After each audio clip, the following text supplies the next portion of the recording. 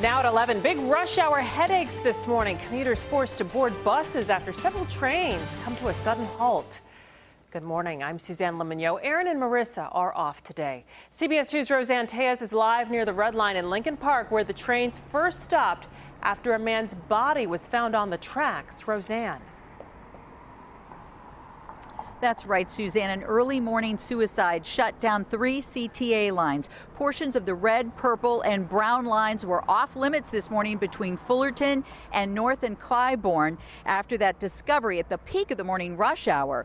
Police and fire officials responded to a call around 6:30 this morning. A man's body on the tracks at the red line at Fullerton. We now know it was a suicide. Police say a man in his 40s. Detectives spent more than two and a half hours investigating as hundreds of commuters scrambled to find transportation. As some lined up for shuttle buses, a Good Samaritan appeared offering free rides. His car filled in seconds. But others were left to choose between being really late or paying surge pricing for a ride share.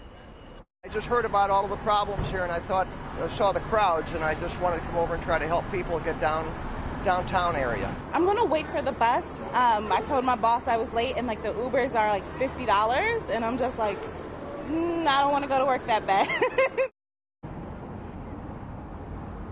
Now, all the CTA lines were back in operation, running uh, just a little bit after 9:30, but the damage was done. The buses this morning were jam-packed, the lines for the buses long, and all those ride shares out on the road added to the gridlock of the morning rush hour, creating quite the nightmare scenario this morning. Live at the Fullerton Red Line, Roseanne Tellez, CBS 2 News. Back to you, Suzanne. Thanks, Roseanne.